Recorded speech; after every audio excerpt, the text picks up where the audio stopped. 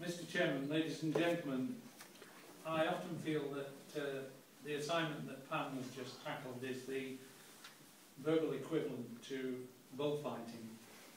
We don't actually have um, blood on the floor, but, uh, well, not most times anyway, but it's all about um, grace and skill under pressure, is it not?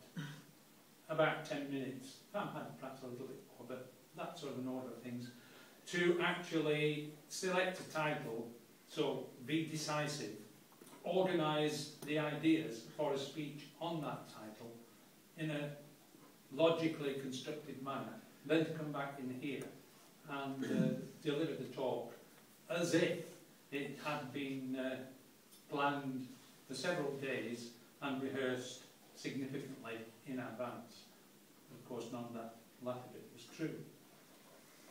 So, um, how did Pam do? Well, in terms of preparation under pressure, I thought the effect from the speech showed that that had been handled very well.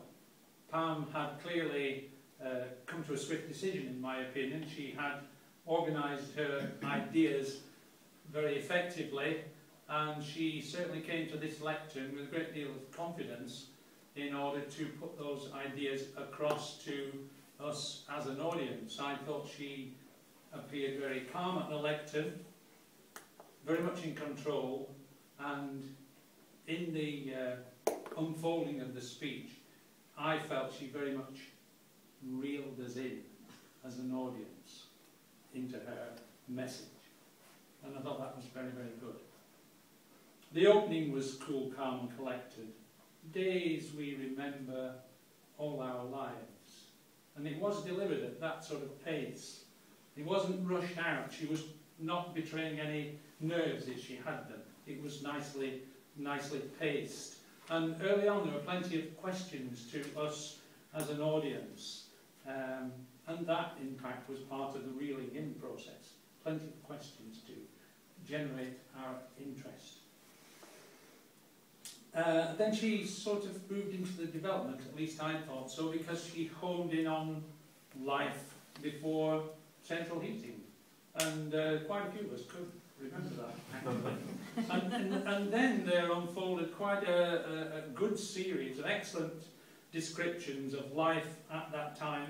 Very good uh, word pictures were put before us, and there was plenty of humour.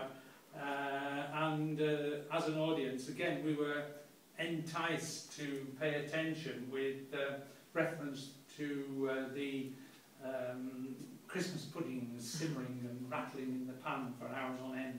And one or two other pictures I didn't have time to roll, write down. But there was, uh, in all of that, a very good reaction to um, from the audience. In fact, I thought at one point that Hilda was about to propose the royal toast. so it all went very well. Pam's presentation, I think, had a great deal in it. The voice was good. There were some nice gestures. The body language was, uh, you know, gave the impression of being in control. The pace, the pitch, and the and the pause were very effective.